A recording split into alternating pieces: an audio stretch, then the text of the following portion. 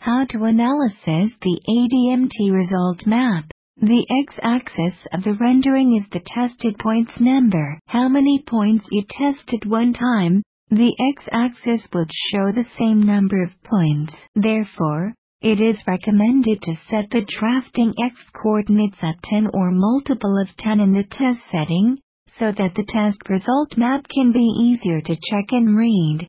For example, if the mapping drafting x-coordinates is set at 10, the test point number would show as a multiple of 10. The first test point is a 0 at the x-axis of the test result map.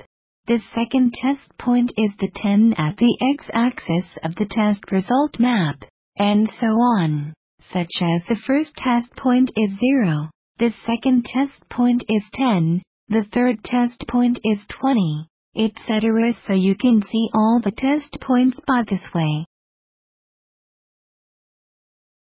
and this is the suggestion drafting x coordinates number that fit with different testing.